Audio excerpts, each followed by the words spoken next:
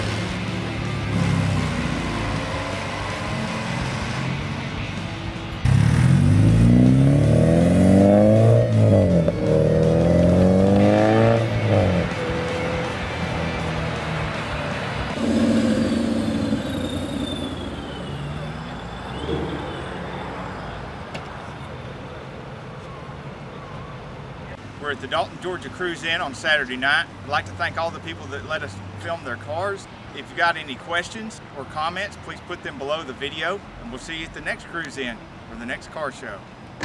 If you want your car videoed, comment below. Pony cars, pony cars. Now, if you're new to the channel, we do brand new videos every single day. And we do all kinds of different vehicles. So make sure you subscribe and hit that little bell so you don't miss anything. Y si usted está nuevo en nuestro canal, nosotros hace, hace un video cada día con diferentes tipos de carros.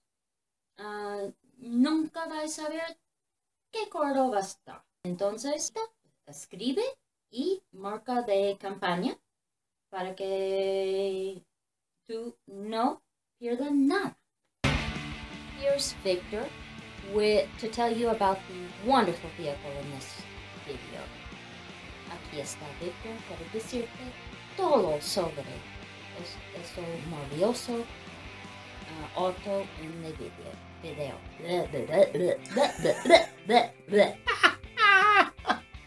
Today's featured vehicle is a... Mm, Shelby. today's featured vehicle... Supercharged Shelby. Today's...